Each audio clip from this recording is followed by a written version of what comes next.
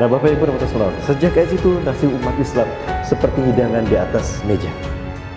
Disantap oleh para pemangsanya. Begitulah yang Rasul sabdakan tentang gambaran fitnah akhir zaman umatnya. Fitnah yang ketiga. Yushikul uman antada alaikum kama tadal akalat ila qasatiha. Aku khawatirkan kalian akan dimangsa oleh bangsa-bangsa di dunia seperti hidangan di atas meja. Bukan hanya kekayaan alam yang dieksploitasi oleh musuh-musuh Islam. Bukan hanya keringat kita yang diperas oleh para cukong-cukong tanah tadi. Bukan hanya darah-darah yang mereka kucurkan dari umat Islam di akhir zaman ini. Akidah umat Islam juga diperas habis. Dimunculkan paham-paham sesat di tengah-tengah umat sehingga Islam menjadi abu-abu. Orang bingung mana Islam yang sesuai dengan Rasulullah dan para sahabat. Yang ini mengaku benar, yang ini mengaku paling sunnah, yang ini membid'ahkan yang lain.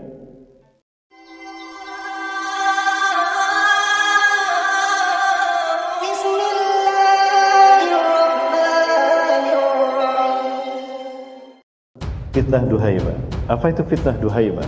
Fitnah yang gelap gulita. La yasruku ahadan fil alam illa latamatu. Rasulullah SAW menegaskan itu.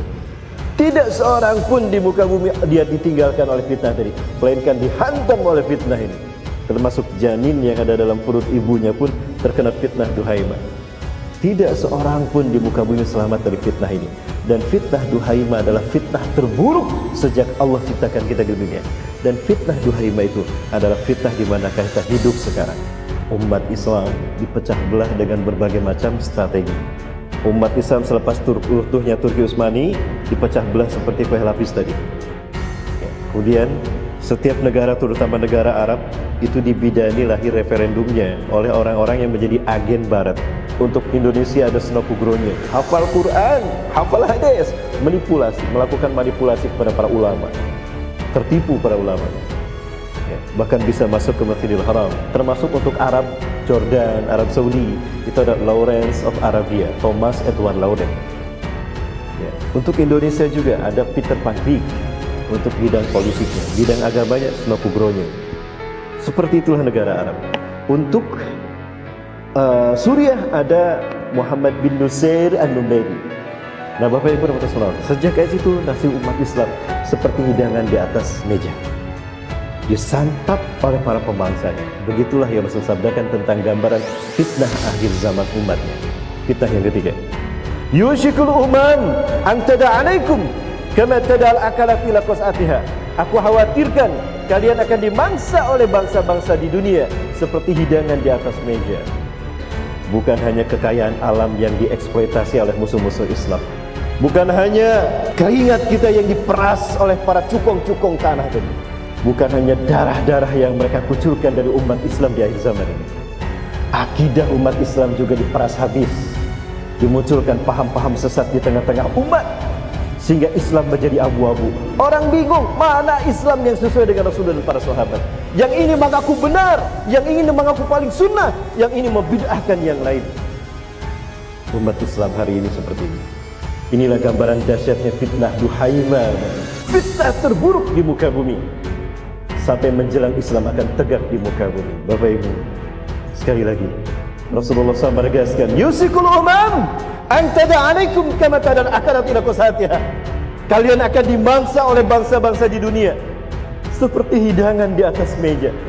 Sahabat bertanya, Amin kilatin nahnu yawma idzin ya Rasulullah. Apakah jumlah kami minoritas ya Rasulullah? Sehingga kami disiksa, kami dibantai oleh musuh-musuh kami. Bal antum yawma idzin katsir. Kalian mayoritas di muka bumi. Kalian banyak di muka bumi. Walakinnakum gutha'un ka guthai sain. Tapi kalian seperti buih di lautan. Kalian seperti buih di lautan. Lihat ombak Bapak Ibu sekalian diterang. Tinggi menakutkan. Begitu sampai di pantai, hilang tanpa jejak. Au karimal fisyatil bahar. Atau seperti pasir di tepi pantai, terhampar luas. Tapi ketika diambil, diremas-remas, hancur berkeping-keping. Itu nasib umat Islam hari ini. Palestina itu jantung dunia Bapak Ibu.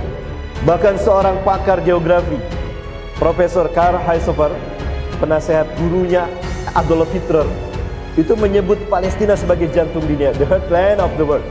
Kenapa demikian? Karena Palestina menghubungkan semua benua di muka bumi. Palestina menghubungkan benua Afrika, Palestina menghubungkan benua Eropa, Palestina menghubungkan benua Asia. Ketika Yahudi ingin menguasai dunia, to take over the world, mereka memulainya di jantung dunia, Palestina. Allahu Akbar. Terbukti apa yang disampaikan Rasulullah SAW. Wala zahannan mahabbatan min surudi adaikum.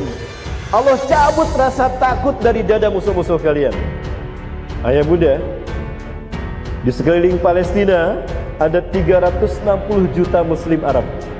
Tidak kurang dari 360 juta Muslim Arab itu hidup mengelilingi Palestina. Kok bisa 10 juta Yahudi membantai Gaza, membantai Rafah selama 9 bulan lebih, 10 bulan dengan santainya itu diam saja 360 juta muslim Arab. Terbukti kan? Mayoritas kata Rasulullah, tapi kalian tidak punya kekuatan di muka bumi. Ini yang terjadi pada Palestina hari ini. Tragedi Gaza mengingatkan kepada kita bahwa bukan Gaza yang dijajah Yahudi, bukan Palestina yang dijajah Yahudi. Dunialah yang dijajah Yahudi kebiadaban yang mereka pertontonkan. Nyaris tidak ada satupun bangsa di dunia yang berani melawannya, terutama negara-negara Arab. Minus orang-orang Syiah. Iran, Suriah, Libanon sekarang berkumpul. Syiah berkumpul di Libanon Bapak Ibu. Ada akan ada babak baru sepertinya. Saya melihat sepertinya ada wacana baru dalam peta geopolitik di Timur Tengah. Akan ada perang baru lebih dahsyat dari perang Gaza dan Rafah.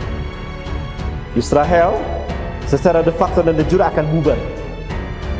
Seorang mantan Perdana Menteri Israel sebelum Ehud Barak, eh sesudah Ehud Barak mengatakan dari Partai Buruh meminta kepada rakyat Israel kembalilah ke, ke Israel, kalian jangan pergi. Sampai pemerintahnya minta balik lagi karena banyak warga negara Israel yang mengungsi keluar negeri. Kenapa? Mereka tahu Israel akan bubar sebentar lagi. Tapi